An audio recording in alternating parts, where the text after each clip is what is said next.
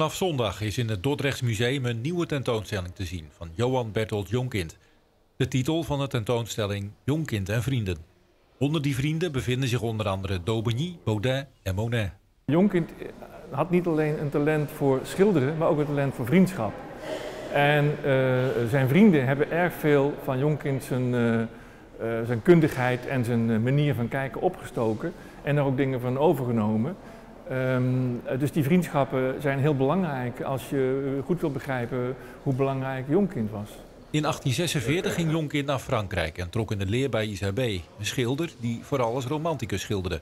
Als je naar het, naar het schip kijkt, hè, dan zie je dat dat een romantische uh, uh, schilderij is in die zin dat nou, dat schip is dus gestrand, er zijn allerlei werkzaamheden, er speelt zich een verhaal af, het is redelijk dramatisch.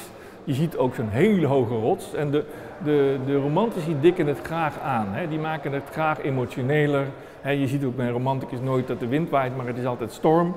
Uh, uh, je ziet ook nooit uh, iemand zeg maar toevallig doodgaan, maar het is altijd een enorme slachtpartij.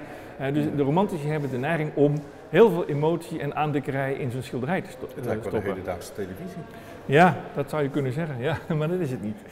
Um, en als je, ziet naar, naar, als je kijkt naar, zo'n schilderij van Jonkin, als hij een schepen maakt, dan denk je van, oh verdomd, ze zijn een schip aan het bouwen.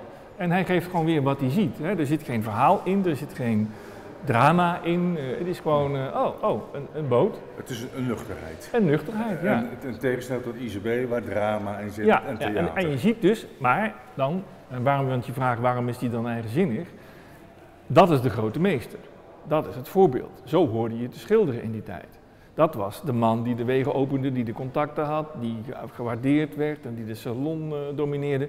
En hier komt de jonge knul en die denkt, nou, ik doe het zo. Ja, dat vind ik wel behoorlijk eigenzinnig. Een authentieke man. Ja. Jonkind was een pionier van het impressionisme. Hij werkte veel in Frankrijk, maar hij kwam ook geregeld naar Dordrecht.